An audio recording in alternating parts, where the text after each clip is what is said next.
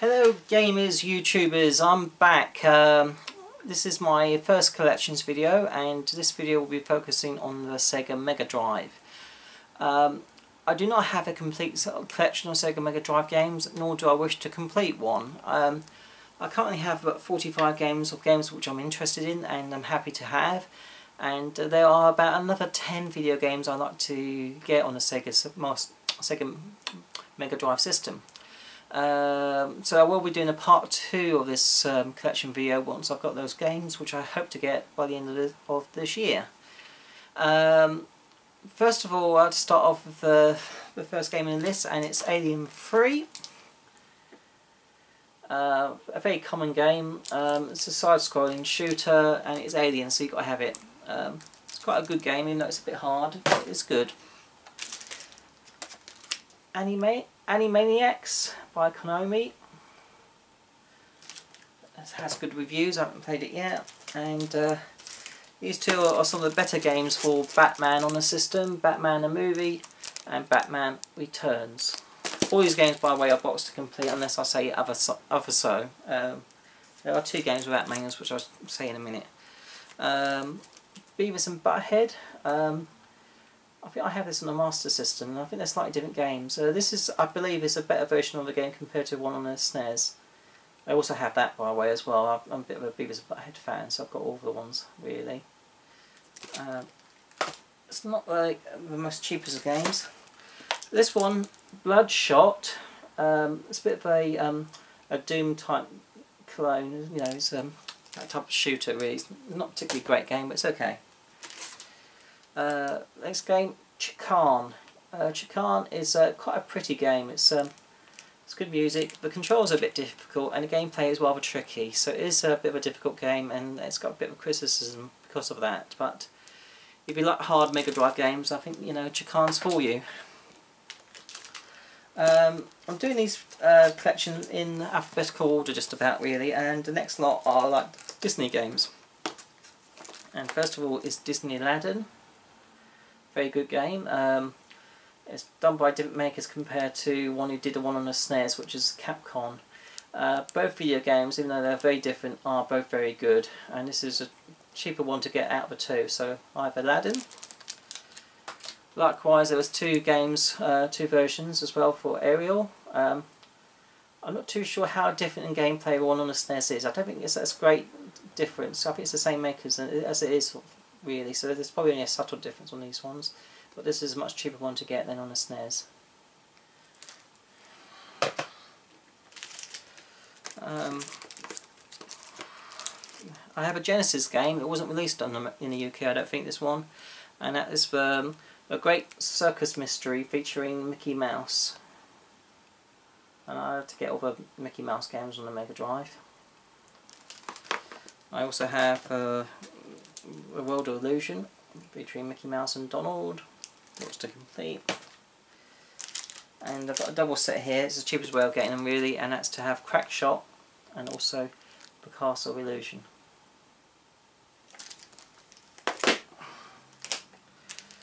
Still with Mickey Mouse, Fantasia. And the last of the Disney games, one which is, is not that good actually, um, it's um, Toy Story.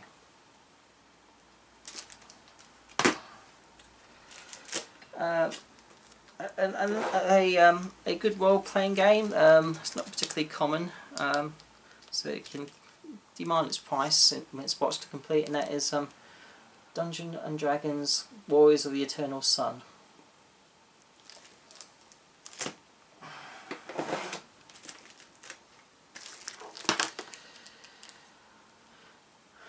Flashback. Um, this is a quite an interesting sci-fi type game. The gameplay mechanics aren't that great, but it's, a, it's got an interesting storyline and plot and quite interesting graphics this is, uh, Flashback. I don't see that much, but um, it was cheap and so I thought I'd pick it up.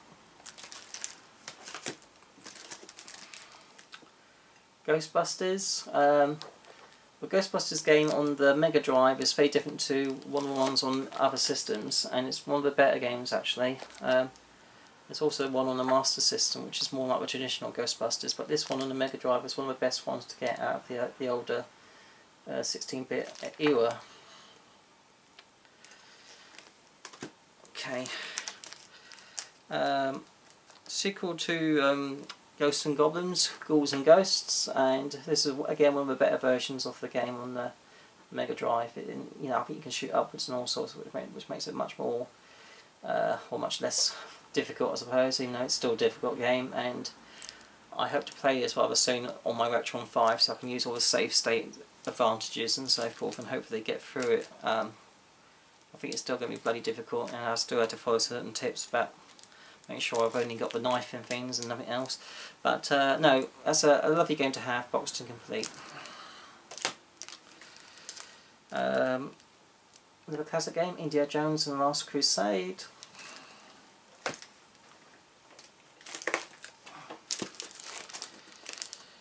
Mutant League Football, um, a classic game.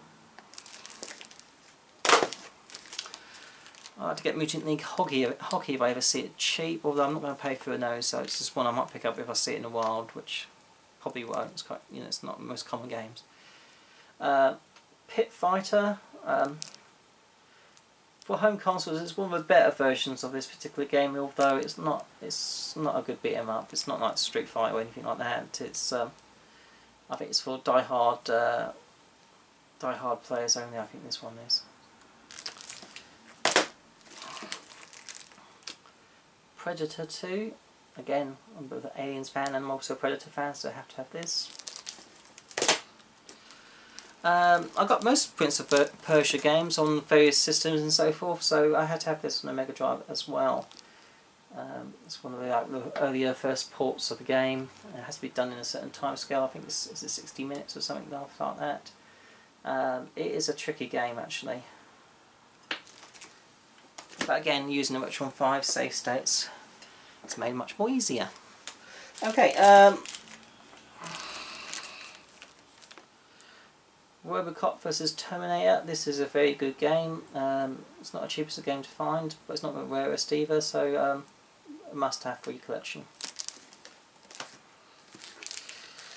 Um, if you've got a Mega Drive collection, you had to have Sonic. Uh, this was also ported to the older Sega Master System too, but obviously this is a superior version of the game. You can get it on so many um, compilation games or DVDs or, or, you know PS2 copies or PS3s. It's the most easiest common game to find anywhere. But you've got to have Sonic on the Mega Drive, and I picked this recent up recently as well for only a couple of quid. Although I'm missing the manual for this, so if anyone's got a spare manual for Sonic 2, please contact me. Uh, one of the better superhero games on the system, Spider-Man. If you've got Spider-Man you have to have Maximum Carnage as well. This one's a bit more of a pricey game to have. Um, it's a good side-scrolling type beat-me-up type thing. If you like um, with Teenage Mutant Ninja Turtle games like that, you'll I think, I think you'll like this too. More collectible game to have in the system and I think it's a nice it's one that you've got to have. It's, it's going up a lot in price Splatterhouse 2 on the Mega Drive. And if you watched my previous video you might have seen a bit some footage of this. Splatterhouse 3 on the Genesis. This never came out on the Mega Drive so you have to get this on import and everybody wants this game so don't expect to get that one cheap. That's all boxed to complete. It's all up new. It's really nice it is. Um, glad to have that um, if you like beat 'em ups, you've got to have Street Fighter, or should I say Street Fighter 2, and uh, the upgraded version of that, Street Fighter 2 Championship Edition.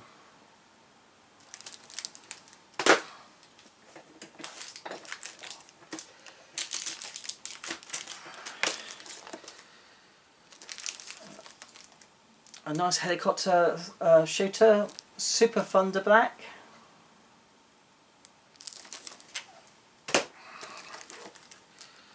some Warner Brother games, um, or one at least. Uh, Taz in the Escape from Mars. It's quite a nice game this. I highly recommend it. Right, with Teenage Mutant Ninja Turtle games, uh, these aren't particularly cheap and uh, they're in quite a demand. This one, Turtles Tournament Fighters, is not a good fighting game. I don't think it's. I think it's for die-hard people more than anything else, really. If you want the superior game, then I would go for the Hyperstone Heist. But expect to pay a hell of a lot more. And complete, great game.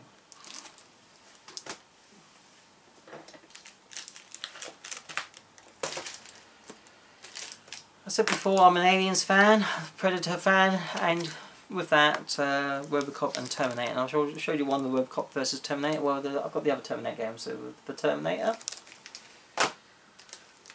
Terminator 2, and what people don't realise that there was a second Terminator 2 game called Terminator 2: The Arcade, which is more of a shooter. Uh, have you got the, the Sega shooter? Whatever it's called again. Um, Menacer, I think it's called a Sega Menacer. I do have that. I should have got out really. Um, you need ideally you use a light gun like that for to play this game, the T2, the arcade. Uh, the Terminator games aren't great really. Uh, if you want a decent Terminator game, get the Sega CD version or the Mega CD version. It's a much better game. The sound on it is fantastic. Uh, the Angry Video Game Nerd did do some videos on it, or a video on it, and so by all means watch that. It's a much superior game to these ones, but you've got to have them in your collection, haven't you?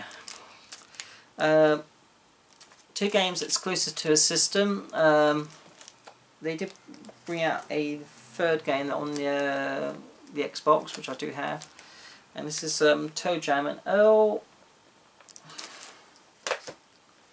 And Toe Jam and Earl Panic on Funkotron.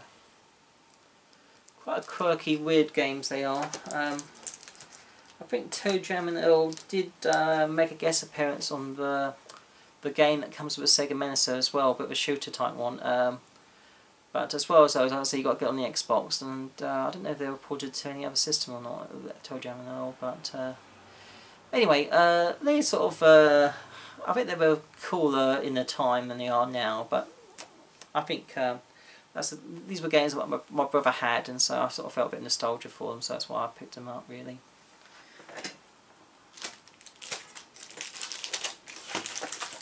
Okay, the last four games. Um, this game is um, one of the best Superman games on the system, and you can see in the background is for Death and Return of Superman. Now this game um, commands quite a lot of pri high prices and this one is a um, it's like a licensed repo car I, I would say. Um, apparently in Mexico I think they had a uh, license to reproduce um, some of the older games that Acclaim did and so this is a ball all new and it's actually sealed with a Sega sticker and the box is made by Acclaim, well it says so, it's printed on it so it's a very good reproduction if not. Um, and all the paperwork is half in um, Spanish for the Mexican market but also half in English. The game cart is like new. The box itself is slightly thinner than normal um, Mega Drive games.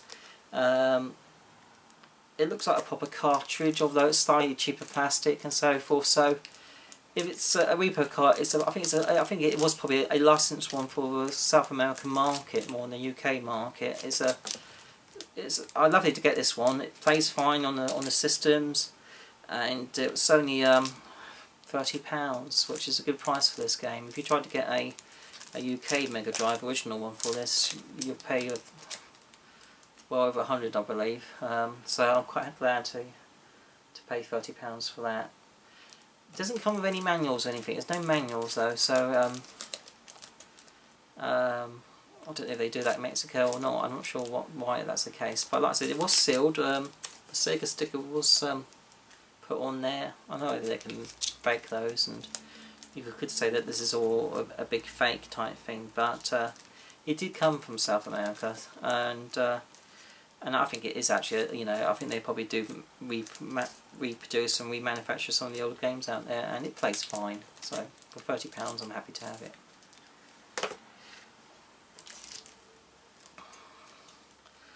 Uh, the Revenge of Shinobi.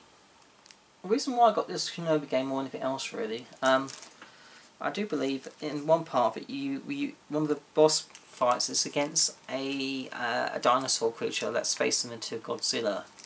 And I'm a big Godzilla fan, so I like to um, have all games featuring Godzilla, so I've got most of them. Um, there's one or two games on the NES. I've got a few of the games on the NES, but there's one or two which are exceptionally rare that only came out in the States, and I mean, they're crap to play anyway, but uh, so I, I would like to get that at some point, but it commands a lot of money, so whether or not I'll get all the Godzilla games, I don't know. There's actually a new one coming out on the PS3 and PS4. It's out on PS3 right now in Japan, so if you like Godzilla, do hold on for later this year for the Godzilla game that's due to come out. It's nothing to do with a movie, but it does look good. Um, there's tons of good Godzilla games produced on the PS2 and the GameCube, though. So they're the best games to play, but uh, I digress a little bit, but Shinobi, uh, Revenge of Shinobi, it's, it's, a good game all the same anyway. Um, next one is a sort of a horror type RPG type game.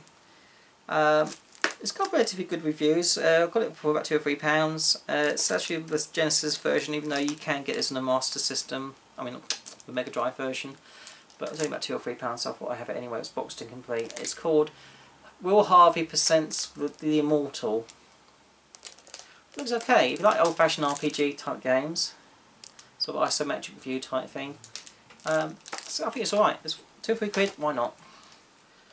Uh, last game, which you probably guessed in terms of alphabetical order and so forth, is one that's um, get on the SNES as well as Mega Drive. The SNES version commands more money. Um, I don't think there's a huge amount of difference in the gameplay though, so I don't think it matters too much which one you get.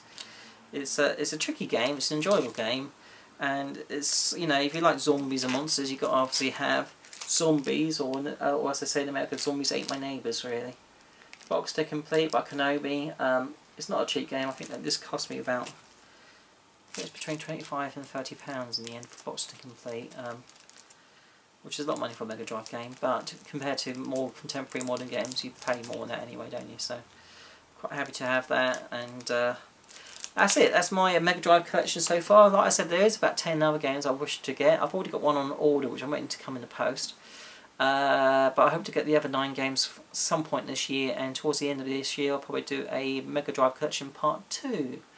Um, I will be doing other pickup videos and other collection videos uh, throughout the year as well, so if you like this, by all means uh, subscribe and leave comments and everything else, and uh, hope you know hope you carry on viewing, and uh, do leave comments and so forth, I do like them, and uh, it's nice to have that two-way dialogue with other people who love retro gaming really. Uh, um, I do um, subscribe to many channels, and I think I love GovGun. He's uh, his dry sense of humour is great. I have lots of verbal diarrhea type two-way conversations with him on on the on the on the messaging on on YouTube and so forth and and so I've, I must admit my videos tend to be a bit more serious into gaming and so forth. I like to put in one or two little uh, witty or jokey or silly comments from time to time, but uh, GovGun's channel, it's it's just you just don't take it serious. It's just it's good stuff, and uh, he's got over a thousand subscribers, well deserved, and uh, uh, he, him and his um, partner um, produce um, some really good videos. So do subscribe to GovGun if you watch this. So you probably already are. Do watch it, and there's lots of other good channels out there as well, like Metal Jesus, which are one of the more popular sites, and uh, and and uh, Cinemassacre and all that sort of thing, uh, all the big ones. Um, uh, there's quite a few good uh, UK gamers out there as well, which uh, they, they tend to watch my videos, so by all means have a look at you know anyone else watching my videos and have a look on their channels as well really there's lots of them too many to mention um, uh, from America some good ones like Chad Bailey and stuff he's, an, he's, a, he's a good collector he's, he's a very down to earth uh, a, a guy cool guy and um, and I said there's quite a number of um, some UK, good UK gamers as well. Um, but anyway, um, I digress massively, so uh, probably bored you to tears, but thank you for watching. Bye!